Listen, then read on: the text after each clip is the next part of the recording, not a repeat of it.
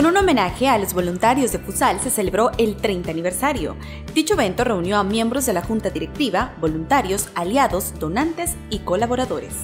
La fundación nació bajo el liderazgo de don Luis Poma y en un grupo de empresarios solidarios con una visión de oportunidades, transformación y esperanza. Hoy su director Luis Poma lo reafirmó. Nuestro trabajo se fundamenta en una filosofía que promueve oportunidades transformación y esperanza. La esperanza nos permite abrir un horizonte, diseñarlo y trabajar para lograr que esa transformación trascienda en la familia y la comunidad.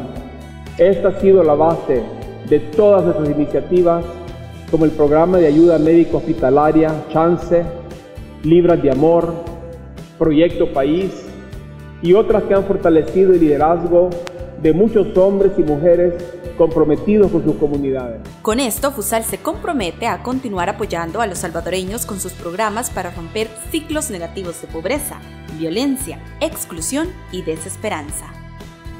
Aquel puente construido hace 30 años sigue llevando libras de amor a los niños de El Salvador.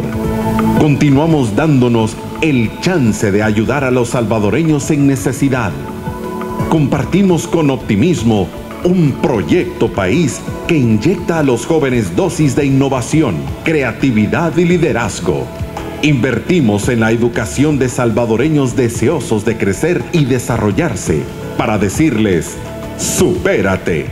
Francisca Canray, una de las beneficiadas por los programas de FUSAL, compartió su experiencia y agradecimiento.